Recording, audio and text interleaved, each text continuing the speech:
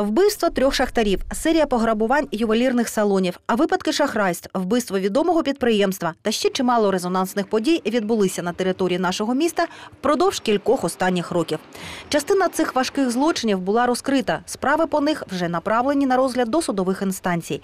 Але є і такі, розслідування яких все ще тривають.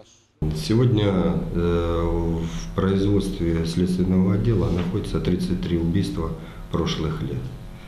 Из них одно из резонансных последних событий э, трехгодичной давности – это убийство Тодорова, предпринимателя. На сегодняшний день проводится ряд оперативно-розыскных мероприятий. Пока я разглашать сведения о проведении их я не имею права до окончательного расследования данного э, преступления. Активізувалися у минулому році і випадки телефонного шахрайства та незаконні операції із банківськими картками. У 2013-му зареєстровано вісім подібних фактів, і тільки два з них були розкриті. Як зазначив головний міліціонер міста, такі злочини розкривати досить важко через складність роботи банківських систем та доступність до інформації. Сегодня у нас есть, поддерживается контакт с группой лиц, которые были задержаны в Луганской области. Все эти преступления нами также просматривали связь в Луганской области. Использовались в основном банковские все карточки приватбанка. Соответственно, перспектива есть у нас на 4 криминальных э, производства прошлых лет на раскрытие. Не могли мене спросити і про те, як триває розслідування нападу на правозахисницю Ольгу Квітку, який стався 7 лютого.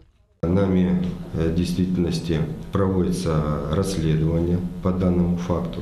Материалы внесены в единый реестр досудебных расследований по признакам квалифицированной статьей 125 части 1.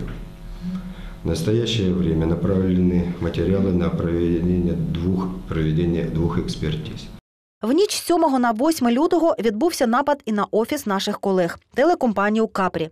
Як зазначив Віталій Полях, цей випадок внесений до єдиного реєстру досудових розслідувань і знаходиться на особистому контролі обласного керівництва. Зараз вже існує чотири версії того, що трапилося.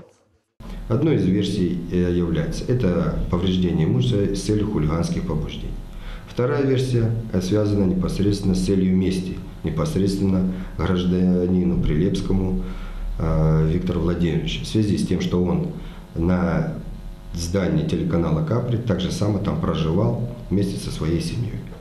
Третья версия – эта версия связана непосредственно с заявлением гражд- гражданина Прилепского, связанное с его непосредственно профессиональной деятельностью, как э, его канала, теле- телеканала Капри. Ну и четвертая версия, в свете всех последних событий, нами тоже она не отбрасывается, это с целью инсценировки попытки поджога, с целью привлечь средства массовой информации, а также освещение это в средствах всех массовой информации в сфере- в свете всей политических событий в стране. Тож розслідування ведуться, і за їх ходом ми будемо стежити. А про подробиці повідомимо у своїх сюжетах.